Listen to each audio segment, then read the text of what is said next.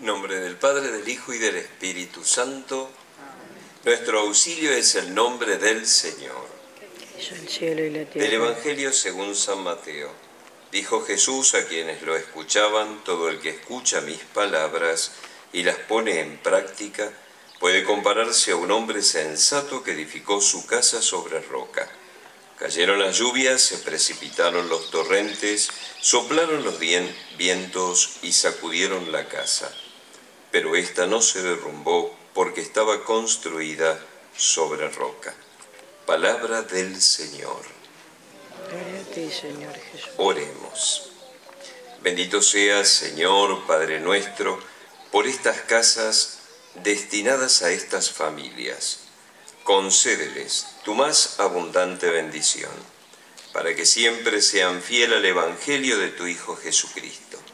Haz descender por la intercesión de la bienaventurada siempre Virgen María, los ángeles, los santos, tu paz y tu bendición sobre este lugar, para que quienes habitarán aquí sean protegidos, animados y asistidos por el Espíritu Santo. Te lo pedimos por Jesucristo nuestro Señor. Padre nuestro, que estás en el cielo,